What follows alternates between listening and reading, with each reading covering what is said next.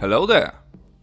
This is Cube Brick and welcome back to my channel LEGO fans for the finale of the False Emperor building series. I can't believe it's finally here. I felt like this day would never come because I've never spent so much time and effort on one build before. But at last it's all here and I am so happy I can finally show it to you guys, completed and bigger and better than any build I've made on this channel here before. But of course, before I'll show you the complete build and walk you through all the details and techniques I've incorporated in this MOC, there are a few things I want to mention. Most importantly, a huge shout out and thank you to all of you guys who came to see the finale, as well as those who were with me through the whole building series, supported me with your comments here on YouTube as well as on Instagram, and gave me some valuable tips on how to improve this build even more than I was going to. I can't tell you guys how much that all means to me and how it gave me the motivation to put even more effort into this build because the end result totally exceeded my expectations. Also, thanks to all of you new viewers who tagged along on this journey with me and because of this building series could discover all the fun stuff I've been building before. Can't wait to get to know you guys more as I continue on this LEGO YouTube adventure with even more awesome builds. And of course, if it's your first time here, welcome and enjoy what you will see here today and I hope you will stay here for longer. Now with all that said, let's get into some details shall we? And let's start with the overall size of the MOC and some technical details just so you can get the idea of what you are going to see. So it's about 90 centimeters long, over 55 centimeters wide in its widest part and nearly 60 centimeters high, measuring from the table. Of course the build would be a few bricks lower if it wasn't hovering over the table on some trans supports, but they are still an element of the MOC, so it counts as a part of the whole build.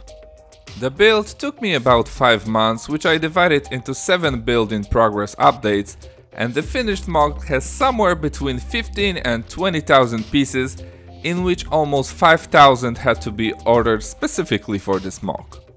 But I'm sure you got enough of me just talking and showing you small glimpses of the build when you came here to see the whole completed thing, so here it is guys, the False Emperor's Throne Room.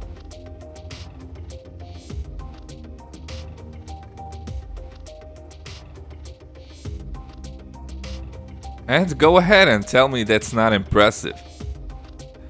I took so much effort in building this thing, but the end result is just mind-blowing. I knew it was going to be big way before I even started building this MOC, and I was not wrong because it's the biggest build I've made so far.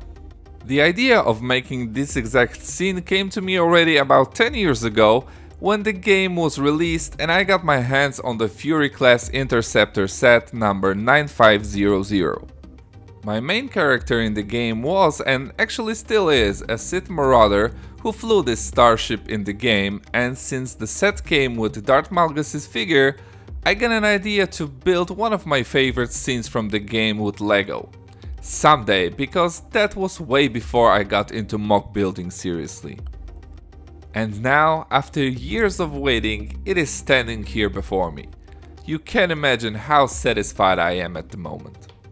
For those who are not familiar with the game, I thought I'll make a quick recap of the story which is being shown here, while I show you some main elements of the build, and then we'll talk about each detail individually. So Darth Malgus was one of the most powerful Sith of the Old Republic era, which is set about 3500 years before the events of the New Hope. In the real Emperor's vitiate absence, Malgus decided to transform the Empire in his bidding and take over the throne for himself. In the story of a Flashpoint mission called The False Emperor, a group of players are ordered to stop Malgus at any cost and depending on which side you are playing on, either secure the throne for Vitiate to return or stop one of the most powerful enemies in quest for galactic peace. For this scene, I chose the light side of the force to be the one fighting against the Sith Lord, but I also wanted to make use of the dark side figures, so I decided to let them help out our main antagonist. So we have two Jedi marching toward the throne, one being a Twi'lek Jedi Knight wielding a single lightsaber, and the other a Cathar Jedi Consular with a double-bladed one. Assisting them are a dual blaster wielding smuggler and of course a couple of Republic troopers, one with a huge Gatling laser and the other with a regular blaster rifle. But it won't be easy because Malgus is well protected by two Sith with a couple more friends. And here is of course my main character from the game, a Sith Zabrak marauder named Darth Kibbles, and his Sith Inquisitor friend with her double-bladed lightsaber and some dark side tricks up her sleeve. Helping them are also two regular Sith troopers, an Empire agent, and of course we had to have a Mandalorian bounty hunter added to the list. After this scene, of course, Darth Malgus' reign comes to an end, but he will return further down the line, but if you want to see that story, you have to check it out by yourself. If you haven't played the game, I say at least give it a try, mostly for the story because it's wide and deeply engaging. Anyway, now that you know what the deal is with the story side of things, let's now focus on the technical part of the tour. Most of these elements you've already seen if you've been following the series from the beginning, but not with all the surrounding, so strap in. And let's start with the first section and the walkway to the throne. First of all, like I said, the whole MOC is kinda suspended in the air because I've decided to place it on some transclear panels just to keep that feeling of the throne being hovering in the air just like it was in the game. So building it was a bit tricky, but after I figured out how I want to make it, it all started to work out really good together. And of course the MOC has to start somewhere, so I figured I'll make some greebling in the front instead of a plain flat surface, which gives a nice vibe to the first section, and that feeling that it's been cut from the rest of the whole space station on which the scene takes place. Now, going into the MOC, the main element here is without a doubt the floor pattern. I wanted to make it as much reminiscent to the original design, so I decided to make it using some slopes and bricks placed sideways, and I gotta say it turned out great. With the grill tiles going through the middle and the terminals on the sides, it really makes you feel like you're in the game. The terminals are made with a mix of different connections, but came out very similar to the originals, besides the scale of course, but that is something I had to take down all across the MOC because it would take at least a half of my room if it was perfectly scaled to the minifigures. Between the bigger terminals we have also a couple of power converters or something with a pretty simple yet different technique and behind those we have a bunch of stairs leading to the edge. The edge of the entire build is more inspired by the game rather than recreating it simply because I thought it would look better that way. So we have some slanted minifigure stands finished up with some fence pieces in black going all around both sides of the MOC with an addition of these three pylons for each side. Those are embedded into the wall in the upper part but being totally suspended on the bottom so they are barely touching the black tiles below. And since we're here, we have to take a look at the side walls, because even for a simple design as it is, it's very fitting here. With some tiles sticking out in the lower part and the snot pattern using spring shooters on the top, it's a perfect finish to a build like this. Now going back on the main path that our Jedi heroes have to take, we have to appreciate the stairs, which are quite simple in design, but also a bit fragile because I had to make them hollow on the inside to make them lit from below using some LED lights. I have to admit that they are a pretty decent central part of the whole build, surrounded of course on both sides with the same pattern on the walls as on the outside of the MOC, and two converters at the end leading all the way to this beautiful floor on the platform. The floor is definitely the most intricate and most eye-catching element of the whole build, but it also was the most time and part consuming element to construct.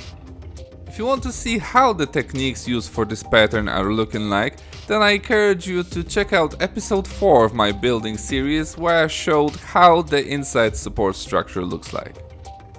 The floor consists of over 500 hexagon tiles, which is about 3000 pieces by its own, not to mention about 17 meters of flex tubes holding them from below. And here I have to give a huge shout out to my wife who helped me with assembling the hexagons, because it would be a much longer process if it wasn't for the help. Covering the floor are two computer terminals, which I really enjoyed building as they are very similar to the ones we got in the game given the scale I had to keep them in, and a couple of crates made with a simple technique, yet quite accurate as well, with a Lego stud instead of a Sith Empire insignia and standing over them are of course two massive Sith statues. And man, building them was one hell of a challenge. I'm not used to making big figures like this, so this was way out of my comfort zone, but what I came up with is exactly what I was aiming for. I won't get into too much details because I've talked about them in the last two episodes and even made a speed build of one of them in the previous one, but let's all appreciate how menacing they look staring on the minifigures from above. And of course, just like the stairs, also in the supports I placed a couple of LED lights just to make them have that small red glare from the sides and the white one from the front. And now the time came for the final and main element of the build, which is the false Emperor's throne itself. This is the newest addition to the MOC, which you haven't seen yet, and it came out very good in my opinion. Of course, I couldn't do the whole upper part as it is in the game, but I think this interpretation is good enough. Most importantly, it is basically suspended in the air, hold only with a couple of trans-clear Technic arms, with the red glow coming from the bottom part of the throne.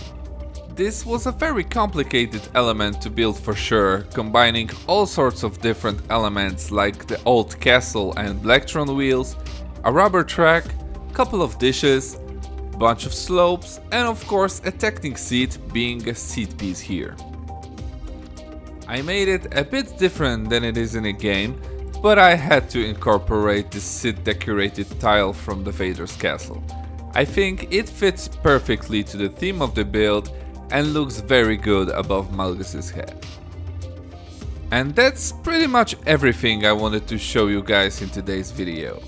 I can't believe it's finally done and I am so glad I got through it after 5 months of spending time and money I could at last share this awesome build with you guys. I hope you've enjoyed watching the finished MOC as well as being with me on this journey through the whole series. And if you haven't watched the whole series, that's fine too. You can always watch it by following the link in the description of this video right now. I don't mind. And don't worry, it's not the last piece of content you will get from it, as I will be releasing a short cinematic showcase in the near future, like I used to do with my other MOCs. So it won't be the last time you will see it, but for today, I think that's everything I wanted to cover. Now it's sadly time to take it all apart and prepare for the next MOC, which many of you may already have heard about. I will be making a collaboration build with my friend from the channel Edge of Bricks and it will be a sequel to our castle build from 2020, The Siege of Bricks. So brace yourself castle fans because we have something even better than the last time in stores for you this year. But now it's time to wrap this up. So leave your thoughts about the build in the comment section below, leave a like if you enjoyed watching this MOC, subscribe if you haven't done that yet, and share this video to all of your Star Wars and LEGO fan friends. And most importantly, stay safe and keep it brickin'.